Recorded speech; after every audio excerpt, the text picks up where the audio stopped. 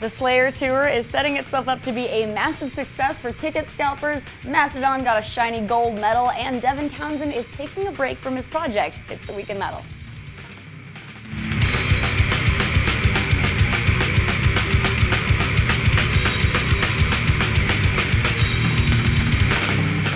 If you managed to get tickets to the final Slayer tour, you probably aren't seeing them anywhere near Dallas, Texas. While the band is set to play large venues across the country, for some reason they booked one of the smallest possible locations for their stop in Dallas. Longtime Metal Sucks reader Jamie B told us that the band's June 19th show at the Bomb Factory sold out in under three minutes. Why? Well, because the damn venue can only hold up to 4,300 people. And naturally, those who did get tickets are seeing a golden opportunity to cash in on this once in a lifetime event and are selling tickets for $3,000.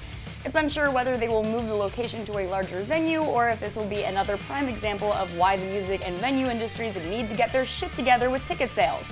This sucks. Oh, the Grammys. The annual gathering of the music industry's elite is not unlike most award shows, a giant circle jerk where many fantastic musicians are severely underappreciated or miscategorized, especially in more fringe genres like metal. But this year, the competition for the Metal Grammy was heavy, with Meshuggah, Mastodon, Code Orange, Body Count, and August Burns Red competing for the prize. And the winner was Mastodon. These guys definitely deserve it, even though many fans argue that Sultan's Curse is not their best work. The band was also up for a Grammy for Best Rock Album, but lost to The War on Drugs. How those bands can be in the same category is as mysterious as why Get Out was labeled a comedy. And finally, the man of many projects, Devin Townsend, is taking a break from his most popular project, the Devin Townsend Project. In a message to fans, Devin says, quote, After eight years of touring with DTP, I've decided to take a break from this band and focus on a number of other projects I've been really wanting to do for some time now. The band have been there with me through thick and thin, and we've shared some pretty great moments. I can't say enough good things about them, and in the future, I'm sure we'll work again.